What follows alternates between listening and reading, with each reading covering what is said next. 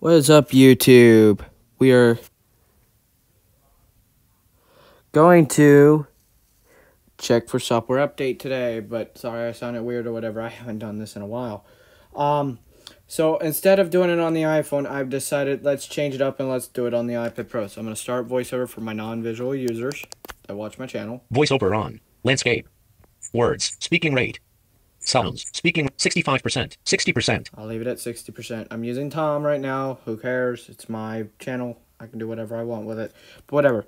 Anyways, so what I'm going to do is you go to settings, go to general. If you're on the iPads, you're already selected general. And then you go to Software update. Button. software update, In general. Back button. which we'll check for this update and see what's in it. iPad OS 13.3.1. Apple Inc. 231.6 megabytes. Dimmed. It was 187.8 meg megabytes on my iPhone 7. Um, let me check the Mini 4 over here.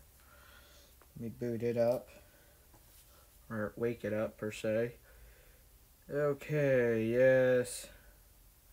Sorry, uh, it was over here. It's lagged out in a way, but whatever.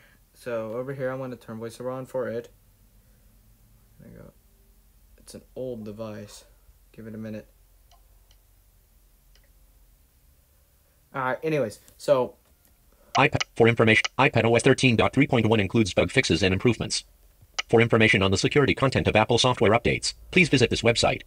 HTT. Learn. Download and learn more. learn Button. more. Fixes an issue that's bullet. Addresses bullet. Fixes bullet. iPad OS 13 bullet. List start. Fixes an issue in communication limits that could allow a contact to be added without entering the screen time passcode. So that was a vulnerability. Bullet. Addresses an issue with mail that could cause remote images to load even when the load remote images setting is disabled. Oof. Okay. Bullet. Fixes an issue that could cause multiple undo dialogues to appear in mail. Okay. Bullet. Resolves an issue where push notifications could fail to be delivered over Wi-Fi. I've not had that problem.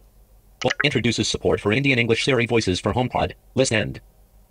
Bullet. Introduces support for Indian English Siri voice for information. HTTPS. HT for in bullet. Alright, so those are the developer keynote or the the notes for the OS on what it fixes on the operating system. So we're gonna go About this update. Done. I'm Button. gonna be done. And you can check it Learn over more. here. Button. Like we'll say an iPad mini. The mini four.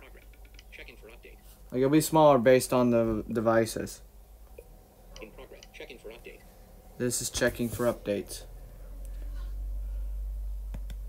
iPad OS 13.3.1 includes bug fixes and improvements. So there we go. For information on the security content, iPad OS iPad OS 13.3.1, Apple Inc. 201.4 megabytes.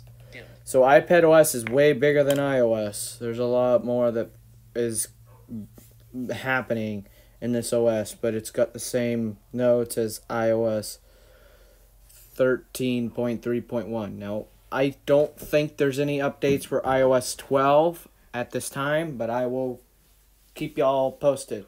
So once again, you go to settings, general, then software update. Thank you everyone so much for watching this video Voiceover off.